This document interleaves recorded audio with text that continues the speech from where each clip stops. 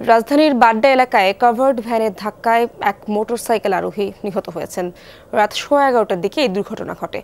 নিহত মোটরসাইকেল আরোহীর নাম আরাফাত হোসেন। পেশায় ইঞ্জিনিয়ার আরাফাত, নড়াইল সদরের বাহিরগাঁও গ্রামের আব্দুর রব শিকদারের ছেলে। প্রত্যক্ষদর্শীরা জানান, কুড়িল যাওয়ার পথে বাড্ডা এলাকায় একটি মালবাহী লরি পিছন থেকে আরাফাতে হোসেন আরাফাত হোসেনের মোটরসাইকেলকে ধাক্কা দেয়। এতে গুরুতর আহত হন আরাফাত হোসেন। পরে গুরুতর আহত অবস্থায় তাকে হাসপাতালে নেওয়া হলে কর্তব্যরত চিকিৎসক তাকে মৃত ঘোষণা করেন। এদিকে লরিটির চালক পালিয়ে যাওয়ায় চেষ্টা করলেও স্থানীয়রা তাকে আটক করে। এই ঘটনায় সড়ক পরিবহন আইনে মামলা প্রক্রিয়াধীন রয়েছে বলে জানিয়েছে পুলিশ।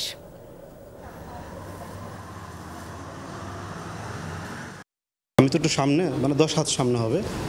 আমি জাস্ট একটু আওয়াজ শুনতে পেয়েছি পিছনে। আওয়াজ, আর কিছুই না। তো আমি জাস্ট ইউটার্নের সামনে গিয়ে পিছনে তাকাইলাম। তাকাই দেখি আমার বাইক পড়ে আছে।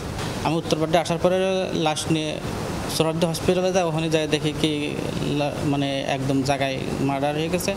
লাশ ইসি কাট করে রয়েছে পুরোই মানে মাথা থেতলে গেছে।